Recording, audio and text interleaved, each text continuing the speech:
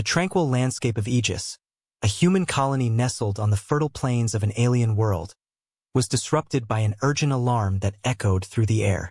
Captain James Harrington, a retired British war hero turned farmer, paused from his work in the fields.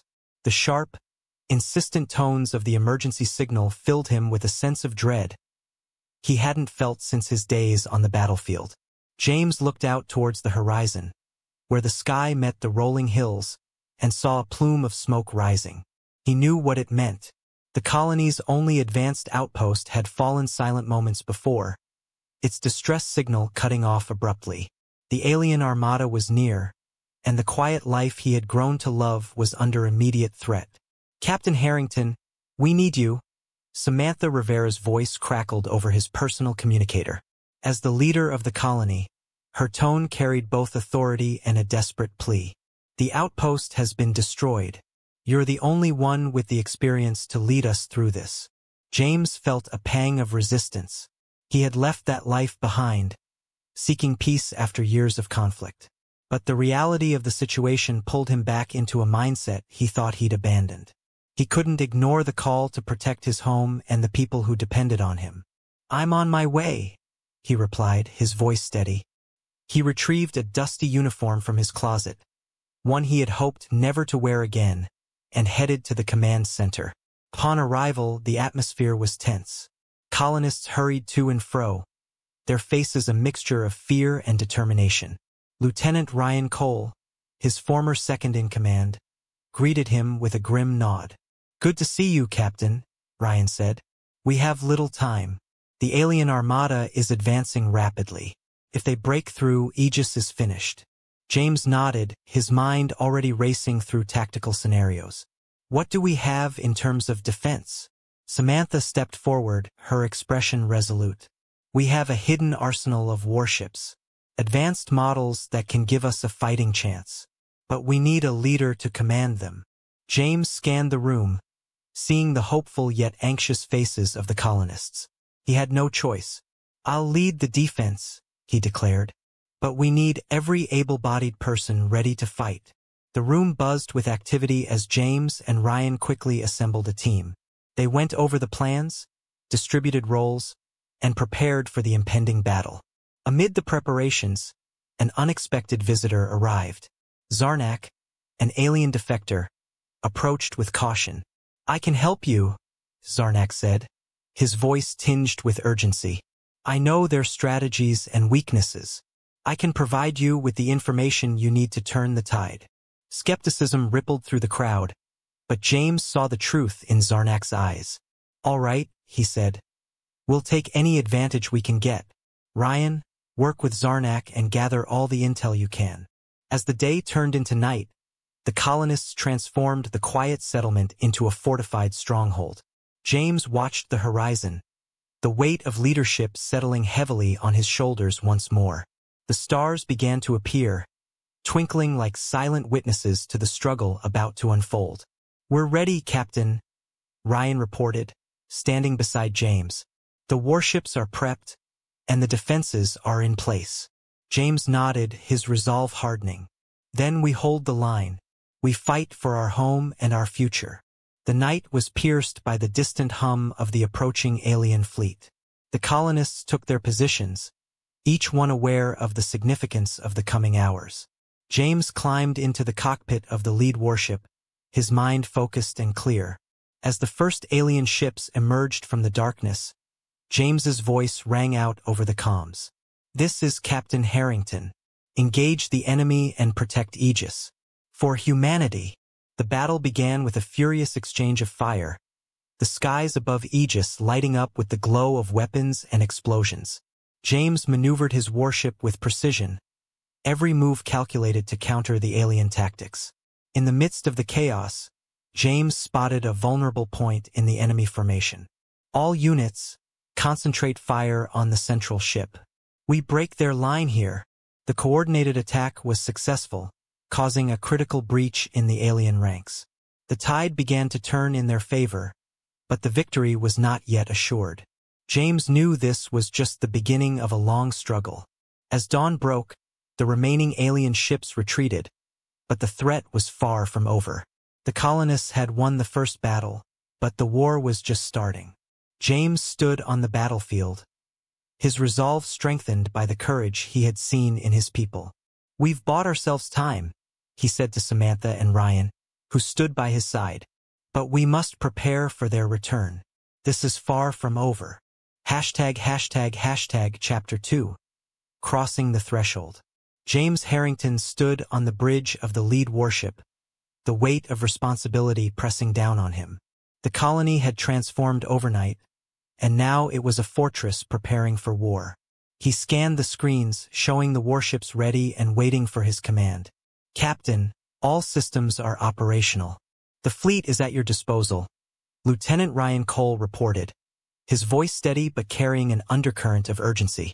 James nodded, turning to face his crew. Today, we stand together to protect our home. Trust in each other and in our preparations. We can and will hold the line. Samantha Rivera entered the bridge, her expression resolute. We have confirmation that the enemy fleet is approaching. Zarnak has provided us with detailed schematics of their ships. We have a chance, but it won't be easy. James appreciated Samantha's straightforwardness. He turned to Zarnak, who stood silently at the back of the room. Zarnak, are you certain of the weaknesses you've outlined? Zarnak stepped forward, his eyes meeting James's. Yes, Captain. The central reactors of their warships are vulnerable. A direct hit there could disable them. James studied the alien, sensing the sincerity in his words. All right, let's move. Lieutenant, relay the battle plan to all units. We engage the enemy at the perimeter and focus our fire on their reactors. The fleet moved into formation, the warships gliding silently into the designated positions. James could feel the anticipation building among the crew. He activated the fleet-wide communication channel. This is Captain Harrington. Remember, we fight not just for ourselves, but for everyone on Aegis. Stay sharp and execute your orders. Harrington out. As the first alien ships emerged from the void, the battle commenced. The warships engaged with precision, following James's strategies. Explosions lit up the darkness as both sides exchanged heavy fire. James maneuvered his ship skillfully, directing his crew with calm authority. Enemy ship at 2 o'clock, targeting our starboard side. Ryan called out. Evasive maneuvers, James ordered. Prepare to return fire on my mark. The ship veered sharply, dodging the incoming barrage. James waited for the right moment. Now fire! A volley of missiles launched, striking the enemy ship's reactor. It exploded in a burst of light, confirming Zarnak's intel. Cheers erupted on the bridge, but James remained focused. Good work, but we're not done yet, he reminded them. Maintain formation and keep targeting those reactors. The battle raged on, with the human fleet gradually gaining the upper hand. Zarnak's information proved invaluable, allowing them to exploit the enemy's weaknesses effectively. However, the alien fleet was vast, and their counterattacks were relentless. As the battle reached its peak, James spotted a massive enemy flagship advancing toward them. Its firepower was overwhelming, and it was targeting their command ship. All units, concentrate fire on the flagship. We need to bring it down. The human ships coordinated their attack, focusing all their firepower on the flagship. It was a formidable opponent, but they pressed on, determined to protect their home. The flagship's shields flickered under the sustained barrage, and James saw an opportunity. Lieutenant, prepare the railgun. Target the flagship's reactor. James commanded. Ryan nodded, working swiftly. Railgun charged and ready, Captain. Fire! The railgun discharged with a blinding flash, striking the enemy flagship directly. The reactor core detonated, tearing the ship apart. The remaining alien ships, seeing their flagship destroyed, began to retreat. A collective sigh of relief filled the bridge, but James knew their victory was only temporary. He turned to his crew, pride evident in his voice. We did it, but we must stay vigilant. They will return, and we need to be ready. The battle had ended, but the war was far from over. As the crew celebrated their hard-fought victory, James and Samantha discussed their next steps. They needed to fortify their defenses and prepare for the inevitable return of the alien armada. We've shown them we're not easy prey, Samantha said, a determined glint in her eyes. But we need to use this time to strengthen our position. James agreed, his mind already planning the next phase of their defense. We'll make the necessary upgrades and train every able-bodied person.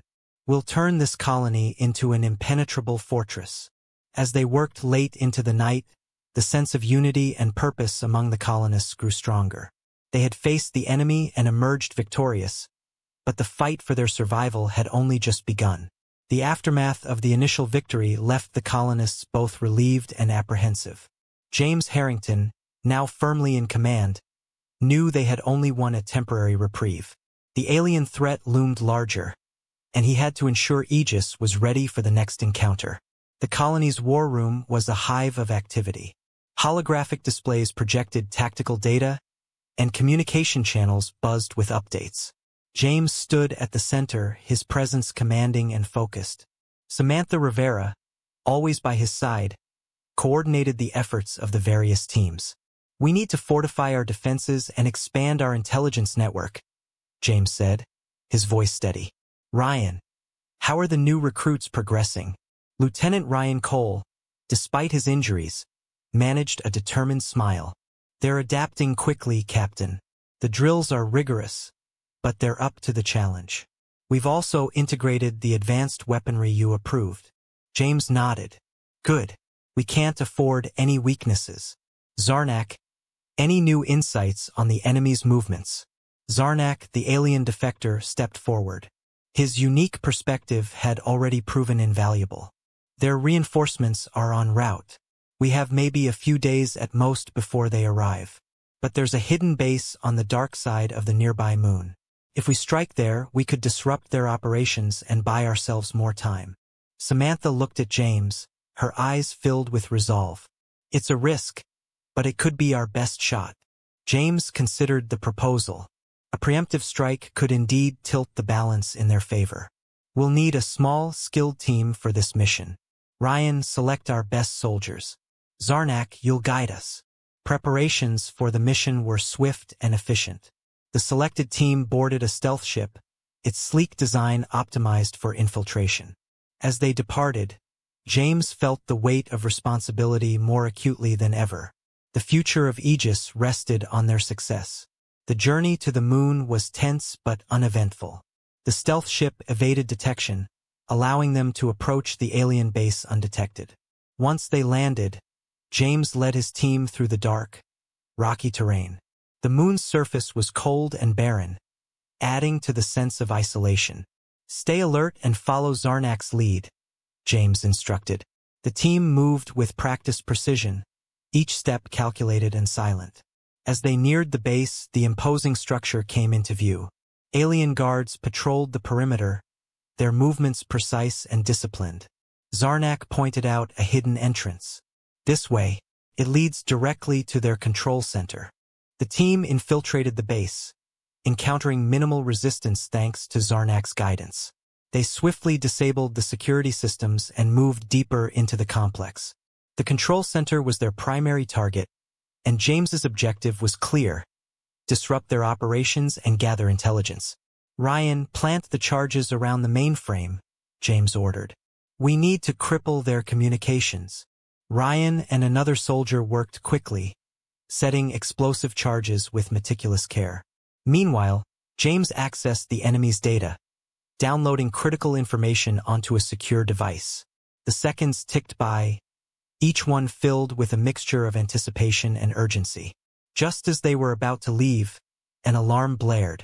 They've detected us, Zarnak warned. We need to move now. James rallied his team. Fall back to the extraction point. Engage only if necessary. As they retreated, alien soldiers converged on their position. The corridors erupted in gunfire, the team expertly maneuvering to avoid being pinned down. James's leadership shone through as he directed their movements, ensuring they stayed one step ahead of their pursuers. At the extraction point, the stealth ship awaited. The team boarded swiftly, and the ship lifted off, narrowly escaping the alien forces. Explosions rocked the base below, the charges detonating and plunging the complex into chaos. Back on Aegis, the data they had retrieved provided invaluable insights into the enemy's plans. The mission, though fraught with danger, had been a success. They had not only disrupted the alien operations but also gained crucial intelligence that could help them prepare for the impending assault. As the team disembarked, Samantha greeted them, her relief evident. Well done, all of you. The information you've brought back could change everything. James handed the data device to Samantha. Analyze this and integrate it into our defenses. We've bought ourselves some time, but we need to use it wisely. Ryan, despite his exhaustion, approached James. Captain, we have injuries but no casualties. Everyone made it back. James clasped Ryan's shoulder. You did well, Lieutenant. Now get some rest. We'll need everyone at their best for what's coming. The team dispersed, each member aware of the challenges that lay ahead. James stood with Samantha, looking over the war room's bustling activity. We're making progress, Samantha said. But there's still so much to do. James nodded. We'll be ready. We have to be. Captain James Harrington stood in the war room, surveying the latest intelligence reports. The enemy's reinforcements were closer than anticipated. He could feel the weight of the impending battle pressing down on him, yet his resolve remained unshaken. Every decision he made now would determine the fate of Aegis. Captain, we've completed the fortifications. Samantha Rivera reported, her voice filled with determination. The colonists are ready. We've also integrated the new tactics based on the intel from our last mission. James nodded, appreciating her tireless efforts. Good work, Samantha. Ryan, what's the status of our fleet? Lieutenant Ryan Cole, standing tall despite his recent injuries, replied, All ships are prepped and fully armed. The crews are eager to defend our home. James addressed his team, his voice calm but authoritative. Today, we face our greatest challenge. The enemy is formidable, but we've trained hard and prepared for this moment. Remember, we fight for our families, our friends, and our future. The command center buzzed with focused energy as final preparations were made. The fleet moved into defensive positions around the planet, ready to intercept the alien armada. James took his place on the bridge of the lead warship, the same vessel that had seen them through the first skirmish. As the alien fleet appeared on the edge of the system, a hush fell over the command center. The screen displayed the vast number of enemy ships, each one a threat to their very existence. James activated the fleet-wide communication system. All units, this is Captain Harrington. Hold your positions and follow the battle plan. We will make our stand here and protect Aegis at all costs. The battle began with a fury. Laser fire and missiles lit up the space between the fleets, creating a deadly dance of destruction. James directed his warship with precision, engaging enemy vessels and coordinating with the rest of the fleet. The human ships fought bravely, but the sheer number of alien vessels began to take its toll. Captain, we're taking heavy fire on the starboard side, Ryan reported, his voice strained but controlled. Evasive maneuvers, James ordered. Focus on their central ships. We need to break their formation. As the battle raged on, Zarnak provided real-time intelligence, highlighting weak points in the enemy's defenses. Captain, if we can disable their command ship, we might disrupt their coordination. James saw the opportunity. Ryan, prepare the railgun. Target their command ship's reactor. The railgun fired, sending a concentrated beam of energy towards the enemy's command ship. The impact was direct, causing a chain reaction that crippled the vessel. The alien fleet wavered, their formation breaking as they struggled to regroup. All units, press the advantage. James commanded, take out as many ships as you can while they're disorganized. The human fleet surged forward, their renewed vigor evident. They pressed the attack, destroying several more alien ships and forcing the rest into retreat. The tide of battle had turned, but the cost had been high. The wreckage of both human and alien ships littered the space around Aegis. As the enemy fleet retreated beyond the system's edge, a cheer erupted among the colonists. They had defended their home, but the reality of the losses weighed heavily on James. He knew the fight was far from over. The alien threat would return, stronger and more determined. James stood on the bridge, watching the retreating enemy vessels. We've won this battle, but the war is still ahead of us. We must remain vigilant and prepare for their return. Samantha approached, her expression both relieved and determined. Captain, we've proven we can stand against them. We'll be ready for whatever comes next. James nodded, his mind already planning the next steps. We need to repair our ships, strengthen our defenses, and train more pilots. We'll turn Aegis into an impenetrable fortress. The crew dispersed, each member aware of the work that lay ahead.